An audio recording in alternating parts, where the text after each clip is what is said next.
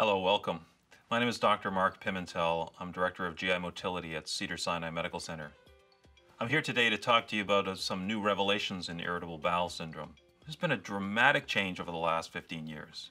What I'd like to tell you about today is a new sequence that leads to the pathophysiology of IBS. We believe it now all starts from acute gastroenteritis. It does this through a cascade of events. We now know based on new research in animals and in humans that this food poisoning or these bugs have a toxin called cytolethal distending toxin, otherwise known as CDTB. The toxin then creates a situation where you react to the toxin with antibodies. The antibodies are then circulating in and around the bloodstream, but they also are fooled to detect a protein on the nerves of the gut. This protein is called vinculin. This autoimmunity affects the function of the gut, and that loss of function leads to the buildup of bacteria. Bacterial overgrowth is a concept where the colon bacteria have migrated into the small intestine and is due to stasis or poor motility in the small intestine. In animal studies, there's now been a link between food poisoning and the development of bacterial overgrowth, with a phenotype in animals very similar to humans. We can now connect these two theories. This makes IBS an antibiotic responsive disease.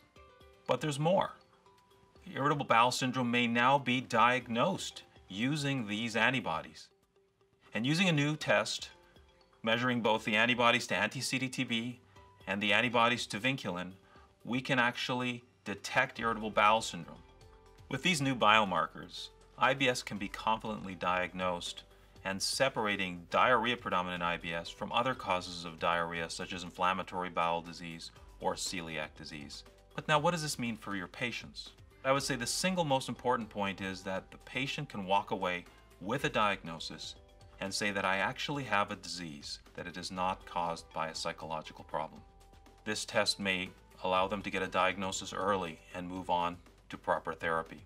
We're very excited about these new developments and hope this test will evolve in the future to even include patients with constipation predominant IBS and even mixed irritable bowel syndrome.